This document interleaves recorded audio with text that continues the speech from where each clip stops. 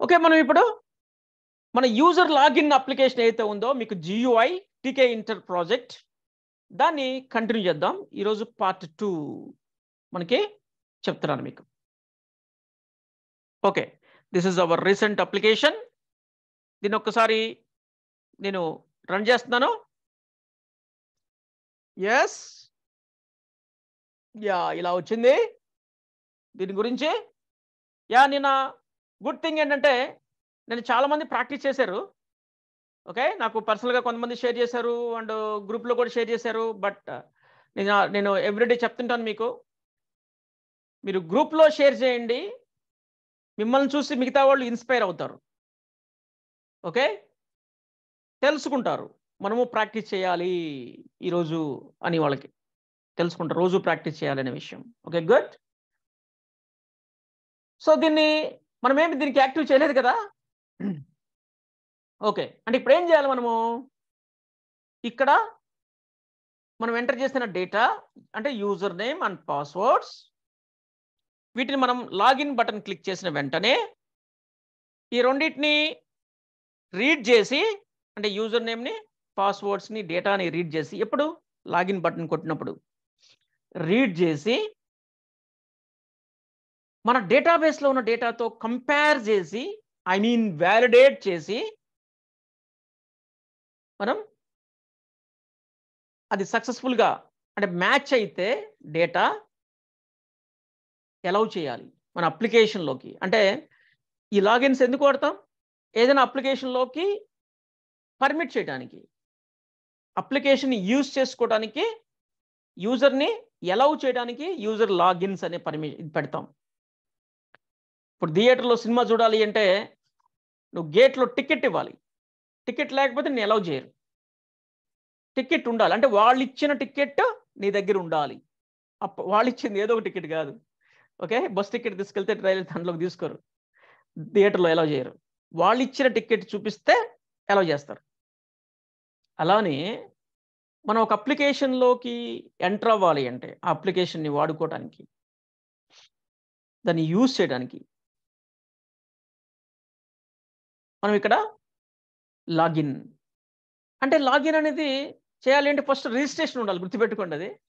Registration చేయకుండా డైరెక్ట్గా లాగిన్కి వెళ్తున్నాం మనం. నో ప్రాబ్లం తర్వాత రిజిస్ట్రేషన్ కూడా చేద్దాం. ఓకే.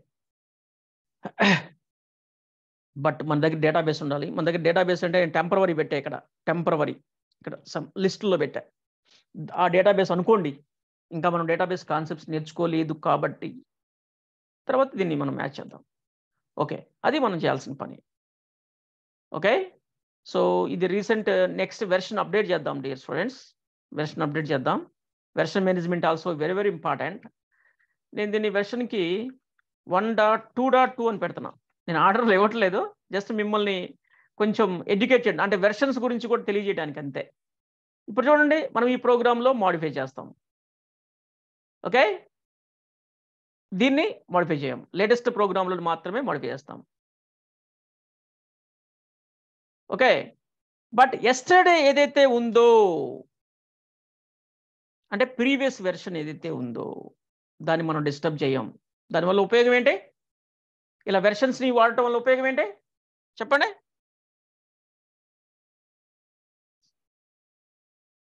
ఈ వెర్షన్స్ని మెయింటైన్ చేయడం వల్ల. అదే ఫైల్లో మనం మాడిఫై చేసుకుంటే వెళ్ళొచ్చు కదా. బట్ ఇలా వెర్షన్స్ని యూజ్ చేయడం వల్ల అంటే దాన్ని అలానే ఉంచేసి కొత్త వెర్షన్ తీసుకొచ్చాం. దీనివల్ల మనకి అడ్వాంటేజ్ ఏంటి? చూసారా ఇక్కడ? మనకి ఆల్రెడీ ప్రీవియస్ వెర్షన్ ఉంది ప్రజెంట్ ఇంకొక ఫైల్ క్రియేట్ చేశాను.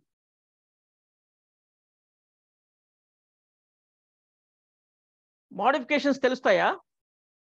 ఇంకా? చెప్పాలి. అంటే నేను అడిగిన క్వశ్చన్ నేను చెప్పిందే అయ్యి ఉంటుంది గుర్తుపెట్టుకోండి. నేను ఏదైనా మిమ్మల్ని క్వశ్చన్ అడిగానంటే నేను మిమ్మల్ని అడిగితేనే నేను సారీ నేను మిమ్మల్ని మీకు చెప్తేనే నేను అడుగుతాను.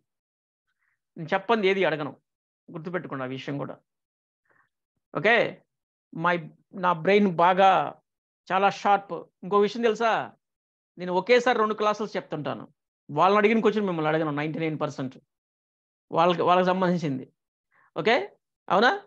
అండ్ మీకు ముందు వేరే బ్యాచ్ కూడా అయిపోయి ఉంటుంది. వాళ్ళకి ఆల్రెడీ సేమ్ కాన్సెప్ట్ చెప్పుంటా. అయినా సరే మిమ్మల్ని అడిగింది మీకు చెప్పిందే నేను అడుగుతుంటాను maximum ninety nine percent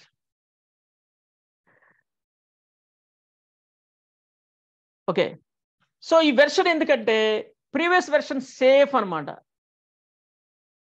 Previous version safe. నువ్వు ఏదన్నా చేసుకుంటే పాడు చేసుకుంటావా? అంటే ప్రోగ్రామ్ని మారు ప్రోగ్రామ్ని చేంజ్ చేస్తున్నావు అంటే దాని అర్థం వండర్ఫుల్ ఫీచర్స్తో రావచ్చు. లేదా ఆల్రెడీ ఉన్న ఫీచర్స్ కూడా డ్యామేజ్ అవ్వచ్చు. అవునా? ఓకే? ప్రోగ్రామ్ని మారుస్తు మారుస్తున్నాం అంటే ఈ రెండు జరగచ్చు కదా? ఏంటి? వండర్ఫుల్ న్యూ ఫీచర్స్ రావచ్చు. లేదా?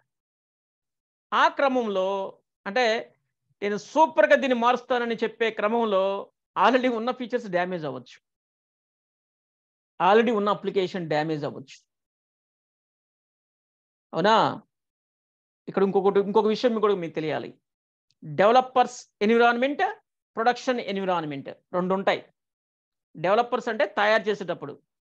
ప్రొడక్షన్ అంటే వాడుకునే వాళ్ళు వాడుకునే సర్వర్ వాడుకోవడానికి పెట్టుకునే కంప్యూటర్.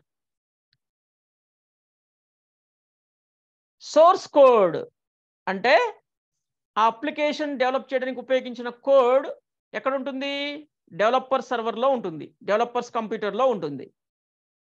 అది సేఫ్గా ఉండాలి తెలుసా? ప్రొడక్షన్లోకి వెళ్ళినా అంటే బయటికి వెళ్ళిన ప్రొడక్షన్లోకి వెళ్ళిన అప్లికేషన్కి సంబంధించిన సోర్స్ కోడ్ సేఫ్గా ఉండాలి. దాన్ని మాడిఫై చేయకూడదు. అందుకే వన్స్ ప్రొడక్షన్కి పంపించావంటే ఆ కాపీని సపరేట్ పెట్టేసి ఇంకొక కాపీని నువ్వు క్రియేట్ చేసుకోవాలి. That is second version. ప్రొడక్షన్లోకి వెళ్ళిన వెళ్ళినప్పుడు కస్టమర్స్ రకరకాల ప్రాబ్లమ్స్ చెప్తుంటారు. ఇది ఇలా కాదు ఇలా ఉంటే బాగుంటుంది ఇది ఇలా ఎందుకు చేసావు అలా చేస్తే ఇంకా బాగుండేది నాకు ఇంకా ఇవి కావాలి దీంట్లో ఎర్రర్స్ ఉన్నాయి ఇవన్నీ చెప్తా ఉంటారు. అవన్నిటిని నువ్వు సెకండ్ వెర్షన్ క్రియేట్ చేసినావు కదా దాంట్లో మోడిఫై చేస్తూ ఉంటావు అనమాట అంతా చెప్పేది వింటూ ఉంటావు నువ్వు చేస్తూ ఉంటావు. అంతా అయిపోయిన తర్వాత ఓకే బాబు ఇదిగో ఈ వెర్షన్ ఇస్తున్నాను తీసుకో దాన్ని అప్డేట్ చేసుకో అని చెప్పేస్తావు. అది అప్డేట్ అవ్వగానే మళ్ళీ ఇంకొక వెర్షన్ నువ్వు రెడీ చేసుకోవాలి. ఇంకొక కాపీ అట్లా. అట్లా మెయింటైన్ చేసుకోవాలి. గుర్తుపెట్టుకోండి. ఓకే. ఇప్పుడు మనం ఏం చేయాలి? ఫస్ట్ దీంట్లో ఉన్న డేటాని రీడ్ చేయాలి. అవునా? రీడ్ చేయాలి అంటే ఇవి ఎక్కడున్నాయి? ఇది ఒకటి ఇది ఇది. This one and this one ఈ రెండు కదా? దీంట్లో డేటాని రీడ్ చేయడానికి వేరియబుల్స్ కావాలి. పైథాన్ వేరియబుల్స్ కాదు. టీకే ఇంటర్ వేరియబుల్స్ సో ఇక్కడ నేను ఈ ఇక్కడ టాప్లో వేరియబుల్స్ క్రియేట్ చేస్తున్నా. ఏంటంటే U name already UN already ఉంది కదా అందుకని యూ నేమ్ అని తీసుకున్నా. Is equal Tkinter dot int లేదా dot var yeah int var int var int వేరా కాదు కదా? మనకి స్ట్రింగ్ కదా అది? స్ట్రింగ్ కదా? So string var string var ఇలా తీసుకోవాలి వేరియబుల్స్ ఇది ఒక వేరియబుల్ అండ్ ఇంకొక వేరియబుల్ పిడబ్ల్యూడి పిడబ్ల్యూడి అంటున్నాను నేను. పాస్వర్డ్ ఇక్కడ పిడబ్ల్యూ ఆల్రెడీ ఉంది కదా అందుకని పిడబ్ల్యూడి పెట్టాను. ఓకే ఓకే లేదా పాస్వర్డ్ అని పెట్టుకో. No problem password passwords already ఉంది. అందుకే నేను నేను దాని దగ్గరకి పెట్టకుండా పీడబ్ల్యూడి అని పెట్టాను. పీడబ్ల్యూడి ఓకే గుడ్ ఈ రెండింటిని నువ్వు ఇక్కడ లింక్ చేసుకోవాలి దీనికి. ఇక్కడ ఎక్కడేం చేసుకోవచ్చు? There is no order text variable text variable అనే దగ్గర యూ నేమ్ యూ నేమ్ తీసుకోవాలి. అండ్ దీనికి కూడా అలానే text variable is equal to PWD అని చెప్పి తీసుకోవాలి. ఇప్పుడు వాటికి వేరియబుల్స్ లింక్ చేసాం కదా దాన్ని రీడ్ చేయాలి. అంతేనా? ఇప్పుడు వేరియబుల్స్ని లింక్ చేసాం. మనం ఇక్కడ ఏదైనా డేటాని రీడ్ స్టోర్ చేసినా ఆ వేరియబుల్లోకి వెళ్తుంది. ఆ వేరియబుల్లో ఉన్నది ఇక్కడికి వస్తుంది. రెండు జరుగుతుంది. Two way two way communication ఆ వేరియబుల్లో ఏదైనా నువ్వు స్టోర్ చేసినా దీంట్లోకి వచ్చేస్తుంది. ఈ వేరియబుల్లో ఉన్న డేటాని రీడ్ చేసుకోవచ్చు. దానికి సెట్ అండ్ గెట్ అనే మెథడ్స్ ఉంటాయి. సెట్ మెథడ్ గెట్ మెథడ్ అనే మెథడ్స్ ఉంటాయి. గుర్తుపెట్టుకోండి. ఇవన్నీ కూడా ఎప్పుడు జరగాలి? ఈ లాగిన్ లాగిన్ క్లిక్ చేసినప్పుడు జరగాలి. ఈ లాగిన్ క్లిక్ చేసినప్పుడు జరగాలి. ఆ రెండు కూడా. ఓకే? అంటే లాగిన్ క్లిక్ చేసినప్పుడే అన్నాను కదా? మనకి కావాల్సినప్పుడు రన్ చేయడానికి కోడ్ని ఎక్కడ పెడతారు? ఫంక్షన్స్. సో నేను ఒక ఫంక్షన్ని బిఫోర్ కాలింగ్ బటన్ ఉంది కదా? ఇక్కడ నేను ఫంక్షన్ క్రియేట్ చేస్తున్నా. డిఫ్ లాగిన్ అనే ఒక ఫంక్షన్. ఓకే? ఇక్కడ user is equal to U name dot get U name dot get అని తీసుకుంటున్నాను. అండ్ పాస్వర్డ్ పాస్వర్డ్స్ కాదు password is equal to PWD dot get okay ఇరవై ఏం చేద్దామంటే ప్రింట్ చేద్దాం. ప్రింట్ యూజర్ కామా పాస్వర్డ్ రెండింటిని ప్రింట్ చేద్దాం ప్రజెంట్ సో ఈ బట్ ఈ ఫంక్షన్ని బటన్కి లింక్ చేయాలి కదా. సో ఇక్కడ లింక్ చేద్దాం. So command is equal to login without parenthesis brackets లేకుండా ఫంక్షన్ ఈ విధంగా కాల్ చేస్తాం. బటన్ ఓకే మీకు ఆల్రెడీ తెలుసు. క్యాలిక్యులేటర్ చేశారు మీరు. ఓకే ఇప్పుడు చూడండి. సో నేను ఇక్కడ user name Ramu password ABCD at one two three అని ఇస్తున్నాను కదా. ఏ పాస్వర్డ్ కనపడుతుంది. పాస్వర్డ్ కనపడకూడదు కదా. చూద్దాం దాని గురించి. సో ఇప్పుడు లాగిన్ చూద్దాం. లాగిన్. చూసారా? Ramu and password. అంటే లాగిన్ బటన్ క్లిక్ చేసినప్పుడు మనం ఇక్కడ ఎంటర్ చేసిన డేటా మనం ఇక్కడ ఎంటర్ చేసిన డేటా మనకి మన దాన్ని మనం రీడ్ చేయగలిగాం. ఫస్ట్ ఆ పని చేయాలి రీడ్ చేయాలి. తర్వాత వ్యాలిడేట్ చేయాలి. ఓకే ఇక్కడ చిన్న ప్రాబ్లం ఉంది కదా మనకి. ఏంటిది? కనపడుతుంది పాస్వర్డ్. దాన్ని సెట్ చేద్దాం. పాస్వర్డ్ ఇక్కడ ఉంది కదా. పాస్వర్డ్స్లో show. Show is equal to asterisk నీ ఇష్టం వచ్చిన క్యారెక్టర్ ఇవ్వచ్చు. Show is equal character asterisk ఇచ్చా టెక్స్ట్ బటన్కి బా టెక్స్ట్ బాక్స్కి. ఓకే రాము. పాస్వర్డ్ వచ్చేసి ABC at one two three అంటున్నాను కనబట్టలేదు చూడండి. అంటే నీ పక్కన ఎవడన్నా దూరంగా ఉండి గమనిస్తున్నా నీ పాస్వర్డ్ని వాడికి తెలియదు. నీ పాస్వర్డ్కి తెలియదు. అది. ఇప్పుడు లాగిన్ కొడుతున్నాను. పాస్వర్డ్ వచ్చేసింది. ఏబిసెట్ వన్ టూ త్రీ ఇది ఇంటర్నల్గా ఉంటుంది. బయటికి కనపడదు ఇది. నేను ఎవరికి బయటికి కనిపించే చేశాను. బట్ ఇది ఇంటర్నల్గా వాడుకుంటారు కాబట్టి ప్రాబ్లం లేదు. Okay. What next what next? ఏం చేయాలి మనం ఇంకా? వ్యాలిడేట్ చేయాలి. అంటే మనం యూజర్ నేమ్ అండ్ పాస్వర్డ్ని చెక్ చేయాలి. మన డేటాబేస్లో ఉందా లేదా చెక్ చేయాలి. అది ఎలాగో మీకు తెలుసు. ఆల్రెడీ ఇంతకుముందు మనం ప్రోగ్రామ్ రాసాం దాంతో మీరు చెక్ చేసి నాకు ఒక మెసేజ్ ఇవ్వండి. ఇలా కన్సోల్లో కాకుండా మెసేజ్ని కూడా గ్రాఫికల్లో ఇవ్వడానికి మన దగ్గర ఆప్షన్ ఉంది. ఓకే? ఆప్షన్ ఉంది. ఓకేనా? ఏంటంటే ఈ మెసేజ్ని మనము మెసేజ్ బాక్స్లో కూడా ఇవ్వచ్చు. Okay. Good morning sir. That is sir good morning.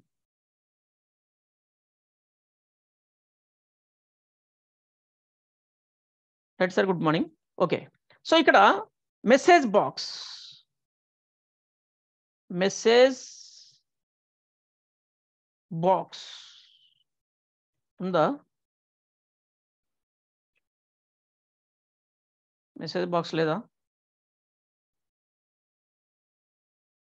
Message box.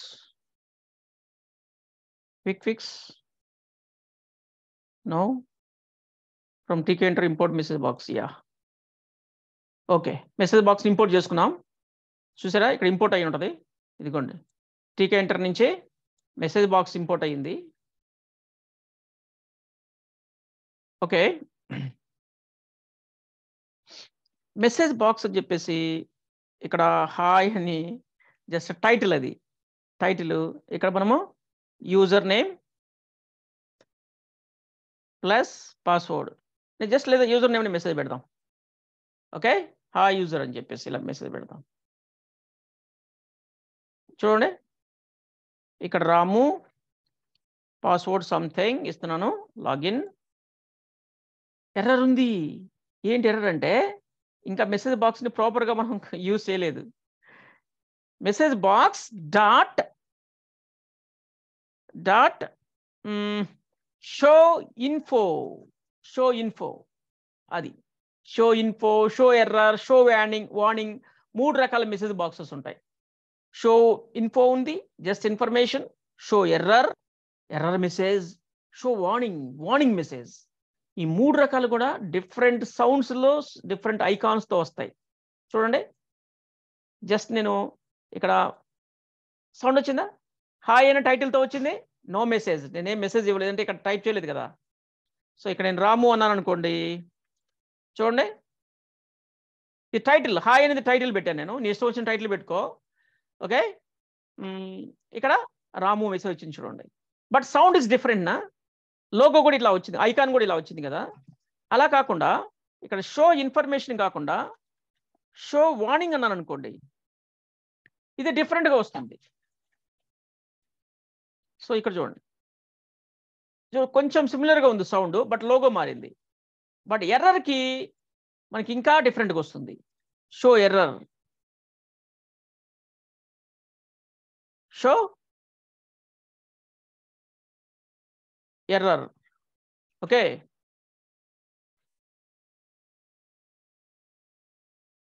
Okay sound మారింది లోగో మారింది. అఫ్ కోర్స్ నేను మెసేజ్ ఏమి ఇక్కడేం టైప్ చేయలేదు మెసేజ్ ఏం లేదు. బట్ ఎప్పుడెప్పుడు ఏది ఇస్తారనేది నీకు అవగాహన ఉండాలి. జస్ట్ ఇన్ఫర్మేషన్ ఇచ్చేటప్పుడు ఇన్ఫర్మేషన్ తీసుకోవాలి. వార్నింగ్స్ ఇది నువ్వు ఇది కంటిన్యూ చేస్తే ఇలాంటి ప్రాబ్లం అయ్యే అవకాశం ఉంది అనే దానికి వార్నింగ్ మెసేజ్ ఇస్తారు. ఎర్రర్ నేను నిన్ను చేయను నీ పని. ఇది కుదరదు అని చెప్పాలి అనుకుంటే ఎర్రర్స్ ఇస్తారు. అర్థమైందా? మూడు రకాల మెసేజ్లు ఎప్పుడు ఇస్తారు? Just information. ఇవ్వడం కోసం ఇన్ఫర్మేషన్ తీసుకుంటాం. వార్నింగ్ అంటే నువ్వు ఇది ఈ పని చేస్తే ఇది అవుతుంది. ఇలా జరుగుతుంది అనే దానికి వార్నింగ్ మెసేజెస్. ఎర్రర్ అంటే ఇది నేను continue కానివ్వను. This is the problem okay? అంటే అలాంటి వాటికి ఎర్రర్ మెసేజ్ ఇస్తారు. నువ్వు అక్కడ ఏ మెసేజ్ ఇవ్వాలి అనేది డేషన్ నీదే. అవునా కదా? యాజ్ ఏ అప్లికేషన్ డెవలపర్గా మీకు ఉంటుంది ఓకే స్టూడెంట్స్ సో మీకు అసైన్మెంట్ కూడా ఇచ్చాను నేను. ఏంటంటే ఇప్పుడు ఈ డేటాని వ్యాలిడేట్ చేసి okay user name and password correct అయితే మీకు మీరు అలౌ చేయాలి ఆ యూజర్ని వెల్కమ్ అని చెప్పి చెప్పాలి. ఓకే ఆ ప్రోగ్రామ్ రాస్తారనుకుంటున్నాను. ట్రై చేయండి. మనం ఆల్రెడీ కన్సోల్ బేస్డ్ అప్లికేషన్ ఇంతకుముందు చేసాం. లాగిన్ ఇప్పుడు గ్రాఫికల్లో చేస్తున్నాం. ఈ రెండు మీరు ప్రాక్టీస్ చేయండి. ఓకేనా ఓకే స్టూడెంట్స్ ఇప్పటికే